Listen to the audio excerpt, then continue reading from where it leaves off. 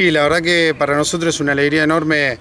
eh, poder haber generado nosotros lo que venimos haciendo durante este tiempo, en este año y medio, más o menos en, lo que ha representado la pandemia. Hemos venido a través de, bueno, de las relaciones que uno ha tenido en, la institución, eh, eh, es generar el vínculo entre, institucional, entre instituciones y bueno,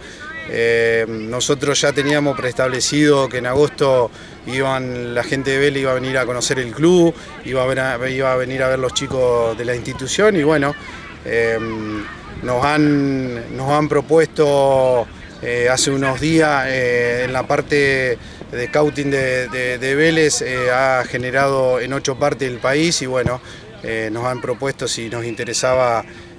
ser los anfitriones de, de, la parte de la provincia de Santa Fe y Entre Ríos, y que bueno, me parece que que, es una linda oportunidad, es un lindo vínculo como para, para, establecer con, un, con, una, institución importante del país y que bueno, eh, más que contento y orgulloso porque bueno, después eh, uno sigue encaminado con, los objetivos que tiene a nivel local y bueno, yo creo que todo esto nos va a servir como para poder seguir creciendo. ¿Qué, día y horario será justamente este encuentro? Este encuentro va a ser el jueves 12 eh, de agosto a las 20 horas. Eh, lo, vamos a estar desarrollando desde la página seguramente del club y a través de la página también de, la gente organizadora de Vélez y que bueno, eh, ya desde ahora bueno, están invitados todos como para que en esa fecha puedan todos participar. ¿Quiénes justamente pueden ser partícipes? ¿Cualquiera que quiera estar dentro de la charla? Sí, sí, en la charla eh, cualquier persona puede participar, es una charla donde se habla mucho de los valores, de, lo, que, lo que representa el fútbol formativo, eh, de las ilusiones que siempre uno tiene a nivel, a nivel infantil cuando, cuando desea jugar a, un fútbol profesional. Y, bueno, después también se comenta un poco lo que va a ser el desarrollo de cuando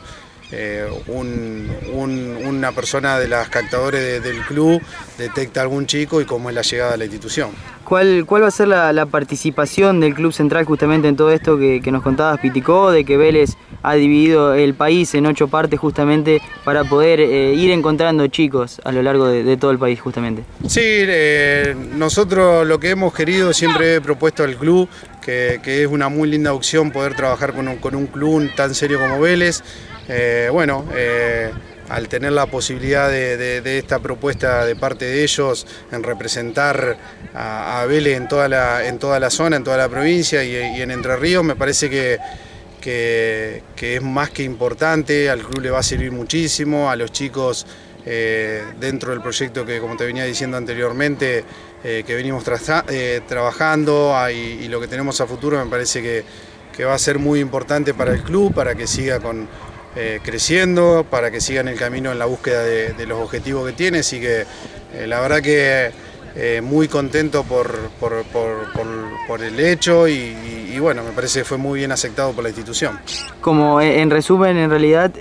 cada vez que Vélez quiera venir a probar chicos de la zona, todos los chicos van a venir aquí a Central y Vélez los verá aquí, tanto en la zona de Santa Fe como de Entre Ríos, ¿así? Claro, esa es una de las ideas, la idea es que, el, que Central San Carlos represente a a, Vélez, que sea un tipo filial, eh, que bueno, cuando Vélez eh, tenga la organización para, armar algún evento, eh, que sea todo a través del Club Central. Y bueno, obviamente que siempre las prioridades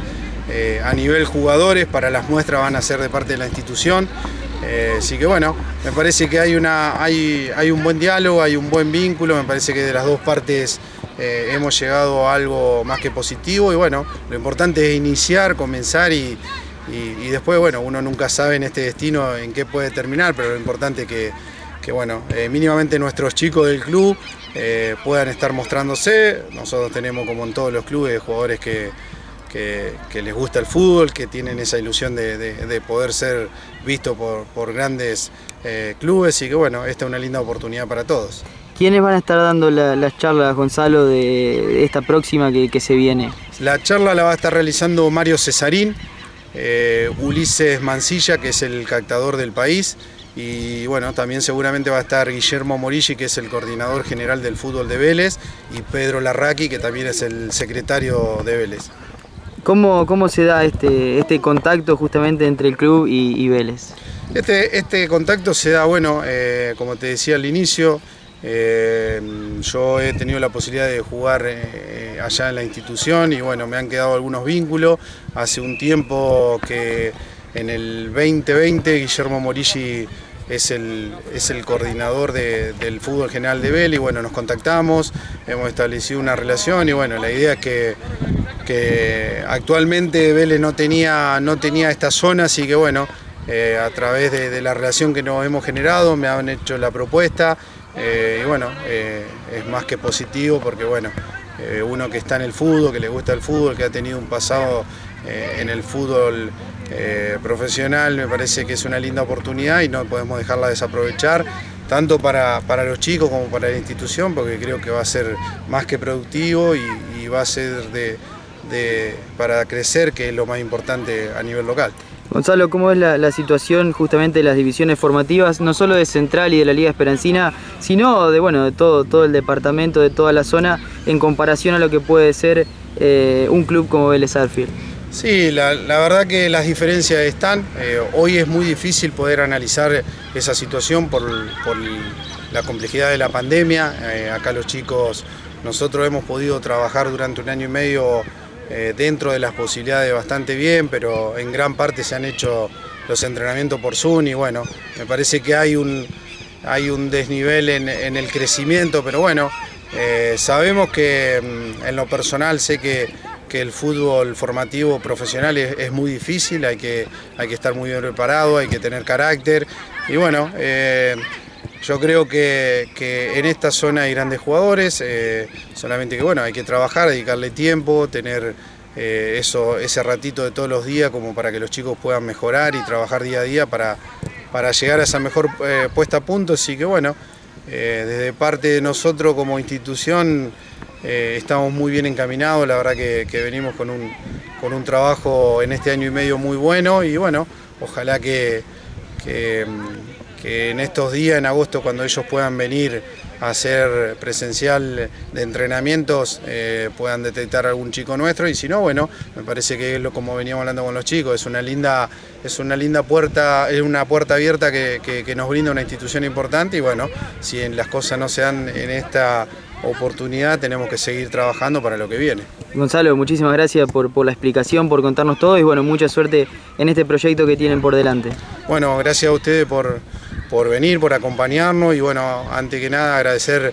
eh, como siempre uno lo hace, a, los directivos del club que siempre eh, nos han brindado desde el primer momento eh, la mejor predisposición para poder ejecutar el encuentro. Y bueno, a la Asociación Mutual también que nos acompaña siempre para que los deportistas del club estén de la mejor manera y, tengan las mejores comodidades para desarrollar la actividad, así que bueno, eh, agradecerle y bueno, eh, invitarlos para, lo que va a ser la charla, para lo que va a ser a fines de agosto los entrenamientos que ellos van a venir seguramente y bueno, gracias a todos.